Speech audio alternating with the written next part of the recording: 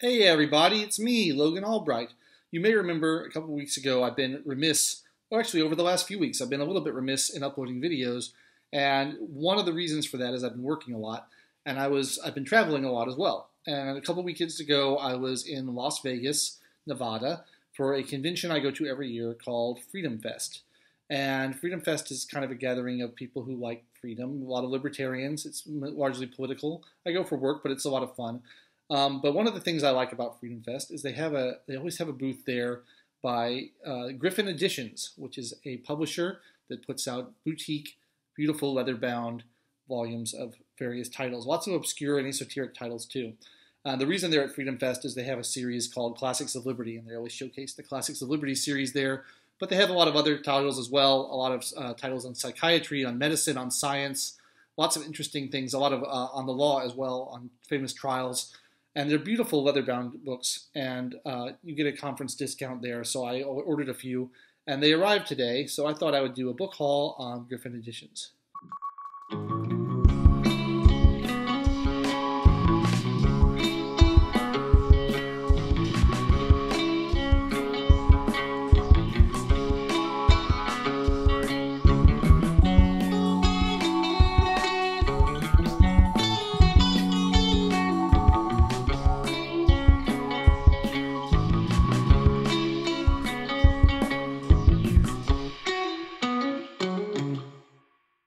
So let me show you. I have a couple of these on my shelf behind me here already.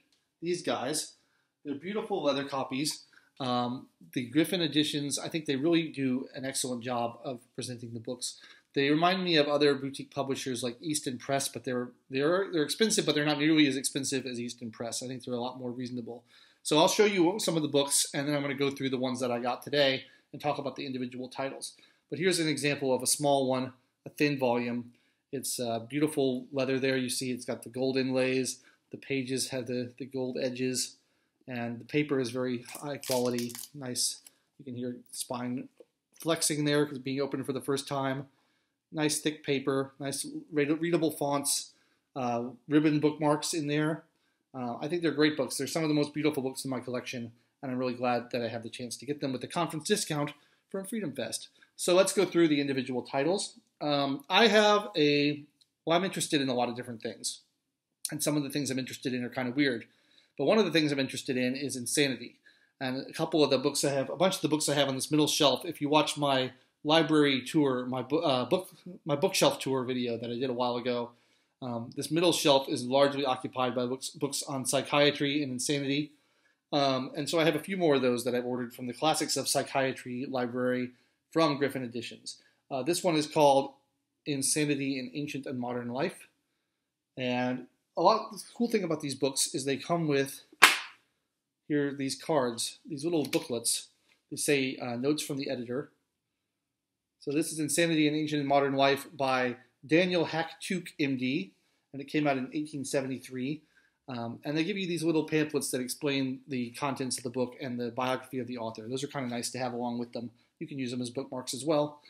So the first one is that one, Insanity in Ancient and Modern Life. I'm very interested in the topic, and I'm trying to read as much as I can on it. And I like these old books too. You know, uh, it's interesting to see what people used to think about these topics in the 19th, 18th century. So in the same vein, the second book I have is called The English Malady, and this is kind of about melancholy and depression and uh, nervous disorders of all kinds. Um, it's related to psychiatry and it's related to insanity. A little thicker, Nice, beautiful one. This is an older book as well. It's from the 18th century, 1730s, I think, 1733, something like that. I forget the exact year. Uh, the next one I have, oh, this one, uh, this I actually got free with the other books because I, when you buy three, you got uh, this one free. This is from their Classics of Liberty series. This is John Locke's Two Treatises on Government.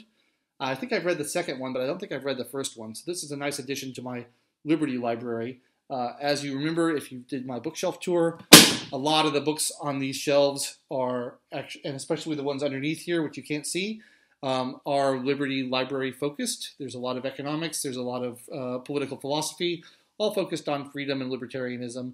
And a classic of the genre is, of course, John Locke's Two Treatises on Government, which were heavily influential to the founding fathers of America, who uh, took his definitions of property rights and uh, and the general idea of the rights of man and incorporated it into the U.S. Constitution. Locke's most famous contribution to property rights theory is his idea that you acquire a property right over an unused or an unowned uh, piece of property by mixing your labor with it. If you you know take a piece of land and you dig on it and you build on it and you put a house on it and you cultivate the garden, you've invested some of your labor into it, and so if it was unowned, you were able to acquire a property right in it through that. That was one of his most famous theories. I'm going to have to revisit this. I haven't read Locke in a long time, and as I said, I don't think I read the first one of these, so this will be a nice little thing to read. And then this last one sort of bridges the gap between all my interests um, liberty, psychiatry, and of course the occult, because I have done a couple books uh, on this channel talking about my interest in the occult, and there's a lot of that going on. So, this is a book called Witchcraft Cases and it's about the Salem witchcraft trials, and it's firsthand testimony from people who were there, witch hunters, uh, lawyers, judges, all kinds of people um, who were involved in those. And you know, the Salem witch trials are a completely fascinating episode in history. It has a lot to do with rights. It has a lot to do with people being crazy. Many people believe it was a episode of ergot poisoning, which is a fungus that grows on rye and causes crazy hallucinations, and that mass poisoning and mass hallucinations were responsible um, it has a lot to do with group psychology and mob mentality. Um, so there's a lot going on there. And then there's also um, there's a great book on the shelf back here by uh, Dr. Thomas Szasz, a psychiatrist, called um, "The Manufacture of Madness," which is, draws an analogy between the uh, psychiatry profession and the mental health movement and the witch trials of the Inquisition, and says that what used to be ascribed to witchcraft is now ascribed to mental illness and that's a very interesting book. One of my favorites. I highly recommend it. But this will kind of help me uh, bridge that gap as well and continue to work, look along those themes and read about this kind of stuff. I'm very interested in witchcraft, so Witchcraft Trials is going to be a good read. It's another big, thick, beautiful leather book. So what I'm going to have to do is go through these shelves and rearrange things because I want to put these on the shelf next to the other psychiatry titles, next to the other Gryphon editions I have up there and that's going to require a considerable amount of rearranging to do so that I can have everything just organized just the way I like it. That's what I want to do. I want my shelves to be orderly and easy to access. I am completely out of shelf space. I need to buy some more bookshelves. Maybe my loyal viewers will send me one, but I doubt it.